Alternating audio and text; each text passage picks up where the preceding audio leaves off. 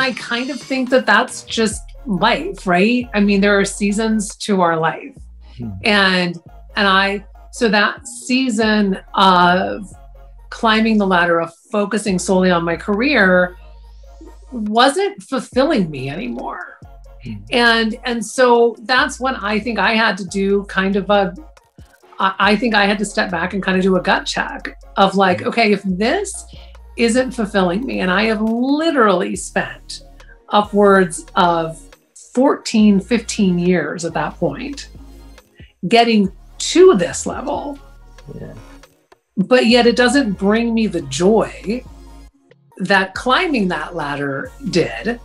Hmm. Then I need to reevaluate where my priorities lie. But I think you should do that at many phases of your life, whether or not you're in journalism or broadcasting or not, right? Yeah. Mm-hmm. I, I think we all have those moments in our lives where where we need to step back and and just reevaluate.